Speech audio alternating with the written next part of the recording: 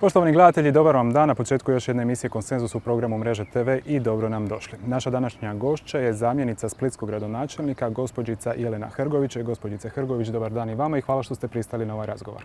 E, dobar dan vama i pozdrav svim vašim gledateljima. Evo samo da kažemo našim gledateljima, ovo neće biti tipičan politički razgovor, već je jedna ležena, nadam se, ugodna priča u vašem prvom formalnom predstavljanju na Mreži TV. Pa tako je, dobro ste rekli. Evo, to je i razlog zašto smo u ovako opuštenom ambijentu i s pozadinom Splita iza leđa. Za početak, Jelena, je li bilo teško u vaš zgusnuti raspored e, ugurati televizijsku ekipu, naći pola sata slobodnog vremena? Pa bit ću iskrena, e, nije to baš bilo svejedno ni kao odluka, ni, ni kao odaziv, ali zahvaljujući evo, dugogodišnjoj dobroj suradnji, nekako i nepošteno ne pristati na takav razgovor i uopće našim sugrađanima ponuditi tu priliku da se upoznamo u ovoj vrsti e, formata televizijske emisije ovakvog jednog e, razgovora. Znate i sami da mi ovakva e, javljanja u programu nisu baš česta. Puno je lakše biti čovjek iz e, sjene iza kamera, ali evo da vidimo što ste pripremili za danas. Da. Evo, za početak, e, vrlo ste kratko na ovoj dužnosti, no pretpostavljam da sad već možete imati nekakve obrise, konture onoga što vas očekuje u sljedećem četverogodišnjem mandatu. O kakvom je poslu riječ? Koliko je dinamičan, koliko je stresan, koliko je zahtjevan? Pa dakle, iskreno govoreći, riječ je o poslu i ulozi, e, dakle govorimo najprije ulozi gradonačelnika, potom i njegovih zamjenika, koja svakog normalnog čovjeka ostavlja u stanju nekakvog strahopoštovanja u, u najmanjem obliku, ali e, primarno dakle u, doista u, u jednom ozbiljnom e, poštovanju prema dužnosti, prema odgovornosti, prema gradu i građanima i svemu onome što podrazumijeva upravljanje gradom.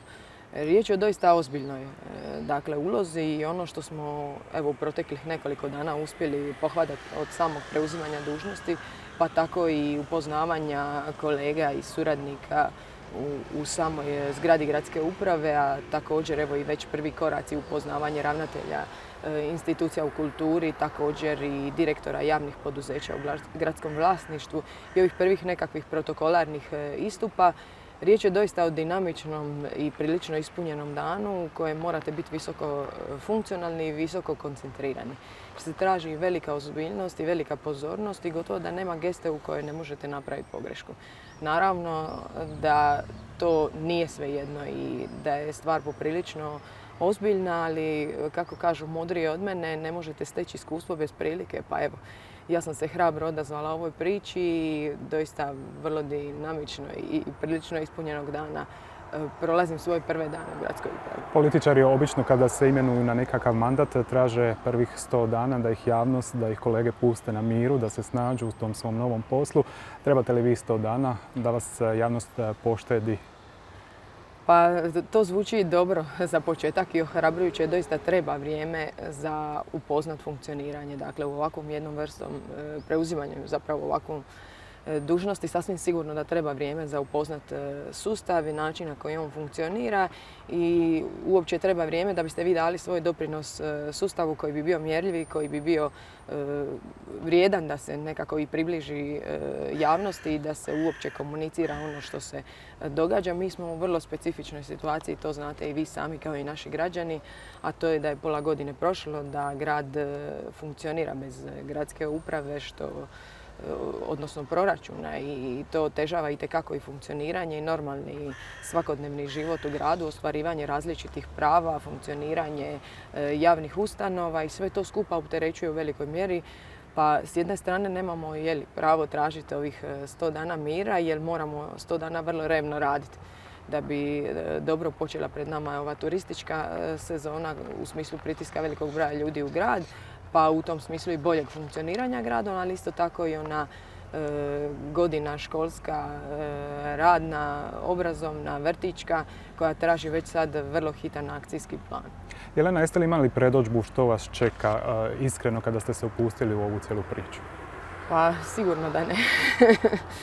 to je onako jedan vrlo širok spektar. Mislim da i netko koji je već ranije obavljao ovakvu ili sličnu dužnost da e, nikad ne može biti dovoljno spreman za iznova preuzeti ovakvu dužnost. E, rekla bih da je ona za mene u prvom redu služba. Ja još uvijek doživljavam kao dolazak na posao i ne mislim da će se to tako lako promijeniti. Ja sam potpuno svjesna da je ovdje potrebno jako puno raditi već su me plašili onim dijelom da ima jako puno protokolarnih obveza i to je istina. Ali te protokolarne obveze zapravo čine svakodnevni život našega grada i na neki način su izraz i poštovanja i sudjelovanja i formalnosti i nekako iz dana u dan hvatam korake, ali doista kažem vam, evo kako sam i mhm. ušla e, s poštovanjem, tako namjeravam nastaviti dalje. Izborna kampanja zna biti stresna i za puno iskusnije političke lisce i lasice. Mi smo u Splitu imali i dva izborna kruga. Je li bilo stresno? Pa iskreno, to je za mene jedna nova dionica i u tom smislu kad ste novi, kad ste u nečemu početni, kad nemate e, takvu vrstu znanja što vas sve može dočekati, imate i određeni nedostatak i prednost. Za mene je nedostatak naravno bio iskustvo, ali je prednost bila upravo taj nedostatak iskustva. Jer da znaš što te čeka, puno bolje bi razmislio hoćeš li se toga prihvatiti. Da znaš koliko stvari mogu krenuti pozlu, također bi se pokušao više zaštititi i ne sudjelovati u tome. Ali s druge strane, ja i dalje mislim da se i ovom vrstu, sudjelovanjem u ovakvoj vrsti i dužnosti i djelovanja pa i kampanje može sudjelovati na drugačiji način. E, mi smo pristali na neki način svi zajedno na jednu vrstu političkog e, cirkusa i politikanstva i koje kakvih prizora koji su jako puno umorili građane, e, ne samo u Splitu nego u cijeloj Hrvatskoj i to pokazuje jedna vrsta apatije prema uopće cijelom izbornom ciklusu, a nekakva i medijska pojavnost koja čini od svake priče skandal da bi ona uopće došla u prvi red zato što je ipak komunikacijski kanal takav da je sve više prostora za komuniciranje, sve više sredstava komuniciranja i e, uopće način da neka vijest dođe u prvi plan nije tako lagan. Ne dolazi niti po ozbiljnosti, niti po važnosti, nego upravo po skandalu. To je nešto što nas sve skupa opterećuje i vas kao novinara i vaše kolege i mene kao neko koji je sad javni dužnosnik, odnosno dužnosnica, ali evo, nadam se da nekakvim kulturnim pristupom i nekakvom drugačijom pričom možemo dati neku novost, pa e, ja sam dosta idealističan tip koji vjeruje da se stvari mogu e, pa nekad i malim promjenama, malim zahvatima promijeniti dugoročno u velikoj mjeri i to je nekako moja polazna postavka i zalaganje koje ću nastojati i dalje pokazivati. Jelena, zašto ste se odlučili politički aktivirati? Zašto ste se odlučili na taj jedan e, javan angažman u društvu? Evo kako sam već i rekla i ja dijelim kao i većina ljudi tu jednu vrstu opterećenosti e, takvim funkcioniranjem društva, odnosno uopće uključivanjem u politiku koja je shvaćena kao e, je li nešto što je uprljano, što je kriminalno, što je ne znam, možda i nekakva vrsta pozornice na kojoj se sad e, pojavljuju neki novi ili stari ljudi. Nebitno, e, idealistično vjerujem da se može funkcionirati drugačije. Iz ove građanske perspektive potpuno mi je jasno da je politika gotovo sve. Dakle, E, ne mislim u smislu stranaka strančarenja, ali u smislu nekakvog upravljanja jednostavno postoji jedan određeni odnos snaga koji treba postići da bi bilo koja odluka prošla i da bi se bilo što dogodilo. I kad gledate sa strane uvijek se nadate da će neko drugi odraditi taj posao.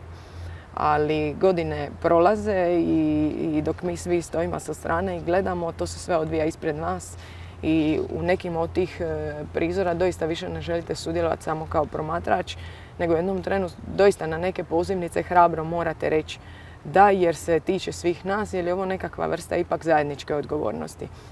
I u ovom delegiranom smislu netko kad e, svojim glasom, pa čak i ne izlaskom na birališta, e, sudjeluje u izbornom procesu i da nekome e, svoj glas i da svoje povjerenje, sve je to zatvoreni krug u kojem nema jednih bez drugih. I, ta zajednička dinamika, koliko god mi bila teška, bit ću iskrena, posebno u ovom javnom dijelu i, u nekakvom javnom nastupanju, može vam to nešto biti blisko ili ležati ili možete biti nadareni za to. Ali ova razina odgovornosti svakome je teret. Mhm. Ali s druge strane, ako jedino s te razine odgovornosti možete pokušati napraviti nekakvu promjenu, onda ne smijete više ni sebe zavaravati da to nije odgovor za vas i tako sam se zapravo i uključila želeći dati svoj doprinos i vjerujući da se nešto doista može promijeniti. Vi ste u političkom svijetu e, poprilično bili anonimni prije ovih lokalnih izbora. I kakav je bio vaš politički angažman, odnosno doticaj s politikom? Jeste li imali nekakvog političkog iskustva? Pa reći ću da je moj politički e, angažman ili uopće nekakva svijest građanska, dakle u onom smislu sudjelovanja i zainteresiranosti opće za funkcioniranje društva. Tako da je to u onom doista najširem e, smislu brige za opće dobro. I vama je poznato da sam ja ranije radila na području kulture, e, dakle u jednoj nakladnoj kući, također gotovo deset godina radnog iskustva, također i e, dakle, sudjelovanje u različitim kulturnim i socijalnim programima koje su provodile neke gradske udruge savjeti mladih i da sam na tom polju društvenog života stjecala neko znanje koje je bilo s jedne strane entuzijastično i vezano za teme koje mene zanimaju ili koje su prirodno dolazile do mene, a s druge strane je to bio nekakav profesionalni angažman i usavršavanje u tom svijetu i rekla bih da iz ove sad perspektive gledajući da je to sve skupa vrlo malo odvojivo. Dakle, riječ je o društvu koje je fluidno, koje je povezano, mozaično i sve ti dionici društva čine jednu zaokruženu sliku i ovo je možda iskorak prema naprijed ili na neku višu stepenicu s kojoj biste trebali malo bolje pospojiti te dijelove mozaika. Mhm.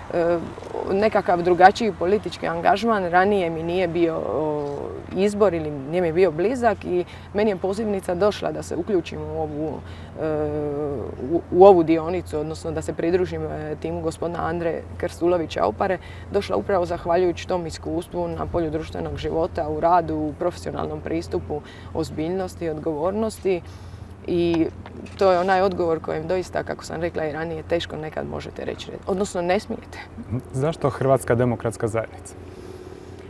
Pa, reći ću tako da je taj e, svjetonazor, dakle nekakva demokršćanska opcija, možda u najširem smislu ono e, što ja, u čemu se prepoznajem, i kad pogledate u nekom političkom e, spektru, bez obzira koliko postoji puno stranaka, E, rekla bih da se to poprilično polarizira i da je vrlo malo toga u kojem se smjeru stvarno možete opredijeliti, a u nekom e, e, smislu ozbiljnog angažmana i pozivnice, ona je došla iz tih krugova i ona je bila kao razina podrške da se stvari podignu na veću razinu i ja sam je prepoznala u toj ozbiljnosti i pridružila se. Tko je Jelena Hrgović ako stavimo politiku sa strane, ako stavimo funkciju zamjenice gradonačelnika, kako biste se opisali? ovo zvuči kao teško i lagano pitanje. Dakle, oni koji me znaju, znaju vrlo dobro da sam ja, e, rekla bih, jedna obična djevojka iz susjedstva, iako to zvuči kao floskula i više se ne smijem niti tako nazivati. E, da, e, često se znam našaliti da sam ja dite sa sela i u ovim javnim predstavljanjima više puta sam se predstavila kao neko koji je sentimentalno vezan za taj rodni sinski cetinski kraj, ali kao neko koji je doista odgojen e, i kultiviran u gradu Splitu. Tu sam završila i osnovnu školu i petu gimnaziju Vladimir Nazor i školovala se na Splitskoj teologiji gdje sam sad u postupku stjecanja e, doktorata. Ovo je definitivno grad u kojem ja želim živjeti i vidim sebe zapravo u smislu budućnosti. I najkraće govoreći, dakle, jedna doista, rekla bih stvarno obična e, djevojka i žena iz susjedstva koju možete pristupiti u bilo koje prigodi i dijeliti svakodnevicu kao što smo to i do sad radili. Diplomirali ste dakle teologiju, zašto je to bio vaš životni odabir? Pa rekla bih da, da je to bio splet e, okolnosti koje su završile tako e, kako su završile u smislu mog na kraju prepoznavanja u tom E, svijetu. Ja sam imala najprije vrlo jasno izraženu ljubav prema hrvatskom jeziku, međutim nisam se vidjela u školskom sustavu tad u tako maloj dobi, znate kako to već ide, ovaj, vrlo rano počnete tražiti odgovore na velika životna pitanja, tako e, nije lako presuditi u tom izboru. Bila sam sklona psihologiji i e, fakultetu poremećaja u ponašanju na moju nesreću nisam se tad, ili sreću, ko će ga znati, nisam se uspjela upisati i u vodiču sam se mislila između dvije stvari. Jedna je bila ekologija, to je zato što sam imala uvjete za upis i sve bodove pa se nisam morala mučiti sa prijemnim ispitom. I druga stvar je bila taj filozofsko-teološki studij na kojeg sam doista ranije nisam se s njim ni susrela, niti nešto više o njemu znala, a bilo je neki zanimljivih opisa u vodiču, a to je da možete raditi u izdavaštvu, u arhivima ja sam otprilike tu negdje stala. A i sam popis kolegija, bilo je tad u tom petogodišnjem e, studiju 95 e, kolegija, od čega su prve dvije godine doista bile uglavnom fokusirane na psihologiju, filozofiju, e, pedagogiju, sociologiju i to je nešto što mi je bilo blisko iz već ranijih interesa. Učenje jezika kao što su latinski i grčki, a ja sam u osnovnoj školi Pujanki bila u tom eksperimentalnom odjelu u kojem smo e, od petog do osmog razreda, dakle posebno odjeljenje klasično koje je učilo latinski i grčki jezik i recimo da su mi te dva stvari prirodno nekako bile bliske i odlučila sam se na kraju između ekologije za teologiju, pristupila prijemnom, upisala studij i otprilike cijelu prvu godinu moji roditelji su čekali kad ću ja odustati i ići ponovo u Zagreb e, na prijemni za poremeće u ponašanju čekali su taj moj entuzijastični ovaj, e, povratak na ono što sam prvotno htjela, ali ja sam se prepoznala u tom studiju, u ovim disciplinama. Naravno, vežeš se i uz ljude, to su male studentske grupe uglavnom 30 ljudi i mentorski pristup profesora je bio dosta blizak. Imate određenu ekskluzivu u toj vrsti odrastanja i školovanja. Tako da e, ono što voliš nekako te nađe. E, nekad doista trebaš paziti što želiš tako da i u mom slučaju ja sam našla ovaj, afinitet za daljnji studij. Na doktorskom sam studiju kršćanstvo i suvremena kultura i bavim se proučavanjem odnosa kulture života i kulture smrti, tako da sve to nešto što se ono proteže kroz život i što odgovara na neka svakodnevna pitanja, čak u onome što vam se čini beznačajno u nekakvim dnevnim izborima. Neka slika iz djetinstva, iz e, mladosti, adolescentskog doba koja vam se nekako najviše urezala u sjećanje, što bi bilo? A to je baš teško. Ovdje bi trebalo donijeti nekakve ovaj, razglednice iz života. Pa ne znam, nekakve najsretnije uspomene sasvim sigurno su vezane uz djetinstvo, dakle i to razdoblje odgajanja, ono je bilo nekako najbezbrižnije, rekla bih ja to tako. Dobrim dijelom bilo je vezano i uz moju baku koja me odgajala na Perući, tako da taj dio slika i nekakve razigranosti i blizine imam veliku e, širu obitelj prilično dobro povezano i te slike su mi dosta važne. Ove splitske možda su više vezane, ove e, reću vedrije i sretnije e, za školske dane i tu imam i danas e, i prijatelje i prijateljice još od petog razreda osnovne škole pa kad počnemo brojati da je to nekih 20 godina rekla bi da je to uvjerljivo najveći, najveće blago koje možeš dobiti u životu kad sretneš prave ljude na putu i onako to je, to je nešto što nosiš. Jelena, što je zapravo posao zamjenice gradonačelnika? Koji će biti e, vaš e, sektor? Čime ćete se to baviti? Pa zamjenica gradonačelnika u ovom e, ustroju preuzima dakle društvene djelatnosti, kulturu, socijalu, sport i to su ona otvorena pitanja i, i neke dobre naravno i vedre teme koje evo u ovoj podjeli reći ću tako i dužnosti i aktivnosti E, su mi bliže i sklonije i već smo prilično aktivno prionuli na proučavanju i onog što je do sada napravljeno i ono što možemo napraviti. Tako da, evo, družit ćemo se na tom planu. Kakav je šef Andro Krstulović Opar?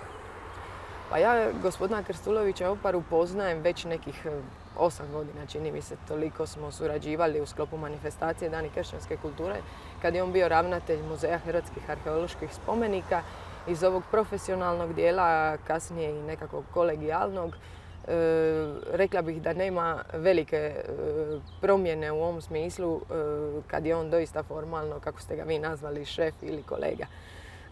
Meni je doista drago što je on dobio, reći ću tako, priliku i mogućnost da upravlja gradom i da preuzme dužnost gradonačelnika. On je čovjek doista bogatog iskustva i životnog i profesionalnog i njegovo iskustvo u diplomaciji, u uredu predsjednice, u Ministarstvu vanjskih poslova, pa možda tek ovo krajnje nešto što je doista upravljački vrlo prepoznatljivo kao njegov rukopis je ono što je ostavio uh, u muzeju Ivana Meštrovića, odnosno muzejima Ivana Meštrovića kao dugogodišnji ravnatelj, mislim u smislu rada, rezultata, onog što je vidljivo u javnosti.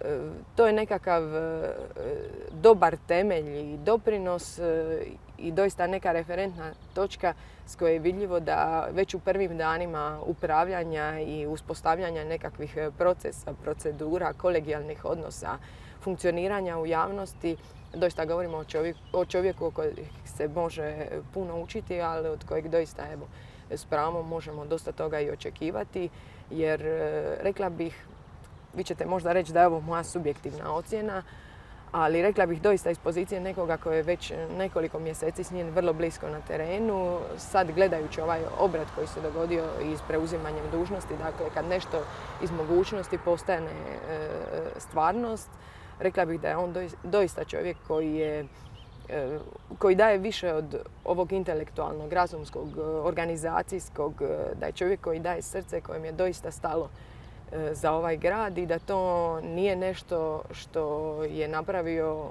da bi imao u svom životopisu tu jednu dionicu gradonačelnik eh, grada Splita, nego da je ovo doista ona eh, gotovo nutarnja potreba i, žar koji više ne možete gledati na koji način se stvari dalje odvijaju i nemate druge.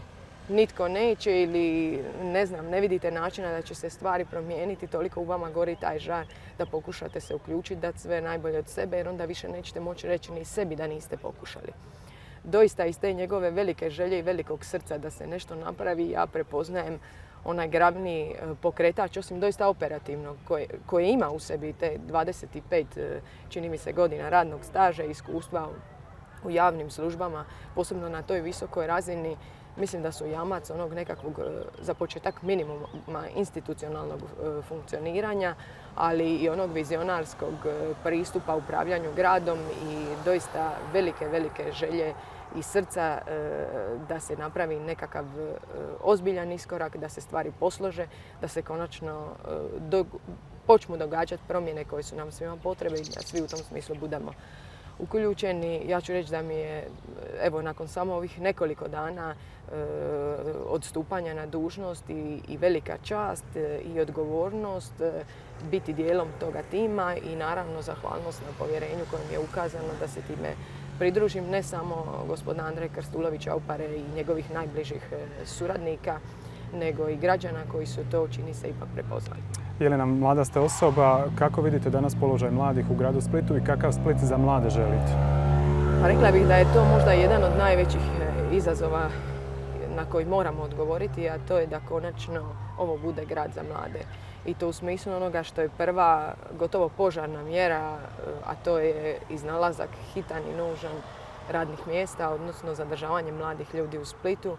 Imamo neke ideje na koji način ćemo to e, pokrenuti, odnosno pokrenuti cijeli proces da se konačno zaustavi taj odlazak e, mladih ljudi iz Splita i vi znate e, da je doista velik broj studenata u Splitu, 22-3 tisuće. Također i ovog drugog, drugi ozbiljan broj djece koji su u vrtićima, u školama, dakle u nekakvom odgojno-obrazovnom sustavu koji u samo 7, 8, 10 godina izlaze na tržište rada i postavljat će sebi pitanje što i kako. Pa već i ovi koji biraju studij E, tražeći nekakvu bolju budućnost i to je nešto na što moramo hitno odgovoriti. Ja doista mislim da je ovo grad e, i da bi trebao biti grad e, ugodnog življenja, da je i ova mediteranska klima i to čime se mi ponekad i tješimo, najljepši grad na svijetu, ali doista jedan mirni grad u kojem je život puno sigurniji nego, reći ću tako, u većim gradovima izvan njega u kojima se nudi mnoštvo mogućnosti i da mi te mogućnosti, ove pozitivne, radne, profesionalne, usavršavanje, e, moramo i tekako e, otvoriti i moramo povući nekakve kanale u kojima će mladi ljudi ostati u Splitu. E, Jelena, na temelju svega ovoga što smo čuli od vas danas, e, znamo da će vam nedostajati slobodnog vremena. Ali ipak kad ga imate, kad ga pronađete, kako ćete se opuštati, kako se najbolje relaksirate? pa ljeto je, mislim da je za sve nas e, u Splitu najbolji način otpuštanja, baš zato što nam je dohvat ruke more i plaža i to će biti moje ovaj, ispušni ventili ili nekakav bijeg u prirodu, ali znate kako to ide. Tko hoće uvijek nađe načina, pa i ovakvim dnevnim ritmovima koji su doista često nemilosrdni, mislim da moramo ne zaboraviti e, one ljude koji su nam bitni, koji su nam bliski i koji se s pravom u ovakvim okolnostima e, mogu osjećati zapostavljeno. Znate, i većina poruka koje sam dobila e, ne samo sad po izboru, nego i kandidaturi, bile su ostani uvijek ista, pa ako stvarno kanim ostati na tom tragu, onda ću dobro morati organizirati svoje vrijeme i posvetiti se ljudima e, temeljito kako sam to i do sada radila. Primijetio sam da niste kazali da ćete uzeti neko dobro štivo ili neku dobru knjigu, a znamo da ste dosta čitali kroz svoj život. Znači li to da ste sad malo knjige zapostavili ili, ili ste to podrazumijeli? knjige su meni stalno na stolu i iznad glave. Na stolu su ove radne zadaci koje moram dovršiti i od čega ni pošto ne kanim odustati, a iznad glave uvijek ima bar 5-6 knjiga i čitanih na kraju dana u ovim nekakvim malim pauzima kad treba naravno rasteretiti mozak, ali kad se treba informirati o nekim temama. Evo još jedno pitanje na kraju. Jelena, iako smo u 21. stoljeću često vodimo polemike oko toga trebaju li žene biti u politici u većem broju, u manjem broju, trebaju li žene uopće biti u poslovnom svijetu, pa iz vašeg iskustva i vaše nekakvo viđenje, e, zašto nema žena više u politici i mogu li one profesionalno biti angažirane i paralelno voditi obiteljski život? Pa to je ozbiljno pitanje. Rekla bih da nipošto se ne bismo trebali razlikovati tako u tom e, u smislu spola na muško i žensko, u smislu nekakvih kompetencija i sposobnosti. E, iskustvo do sadašnje me naučilo da možeš sve ono što hoćeš. I ja imam tu sreću da sam drugo žensko dijete u svojih roditelja, tako da smo vrlo ovaj, široko eh, odgojene u tom smislu da moramo znati i neke muške i neke podnavodnike ženske poslove, ali sve zapravo u cilju samostalnosti. Kako, mislim da je to princip i za osobni život i za profesionalni život, eh, da svak može dostići one izazove koje može i organizirati sebi u vremenu. E, mislim da se puno toga ipak promijenilo bez obzira na 21. stoljeće i da i vi možete vidjeti da jako puno očeva e, gura kolice, a to je gotovo bilo nezamislivo prije par godina, a kamoli prije desetke godina i da je to odgovorno roditeljstvo, a ne nekakva podjela na poslove. Jedan uvijek mora napraviti veću e, žrtvu, a koji će to biti, to je onako zapravo samo nekakav reći ću tako i trenutna dionica u životu koja se izmjenjuje. Jelena, hvala vam lijepa. Gotovo sam siguran da ćemo se često viđati u vašem četverogodišnjem mandatu. Hvala i vama Mario i evo još jednom pozdrav svim našim sugrađanima i vašim gledateljima. Hvala i vama poštovani gledatelji na pozornosti. Ako ste nešto propustili u našoj današnjoj emisiji Konsenzus, to možete potražiti u našoj rubrici videoteka na adresi www.mreza.tv. Možete nas pronaći na Facebooku i Twitteru. Do sljedećeg susreta u Eteru. Lijepi vam pozdrav.